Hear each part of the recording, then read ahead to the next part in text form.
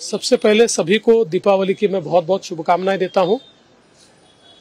दीपावली में करीब करीब पिछले 30-32 सालों से हम लोग हमेशा लक्ष्मी पूजन के दिन विभागीय कार्यालय आते हैं और यहाँ पर हमारा टिफ़िन लेकर आते हैं, सब साथ में भोजन करते हैं।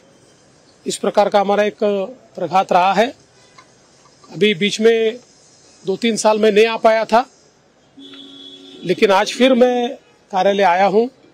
यहाँ पर जो हमारे सारे सहयोगी हैं, हमारे संगठन के जो लोग हैं, इन सबसे मिलकर यहाँ बहुत खुशी होती है और हमारी सभी की यादें इस कार्यालय के साथ बहुत जुड़ी हुई है, इसलिए आज सबके साथ समय बिताने के लिए मैं यहाँ पर आया हूँ।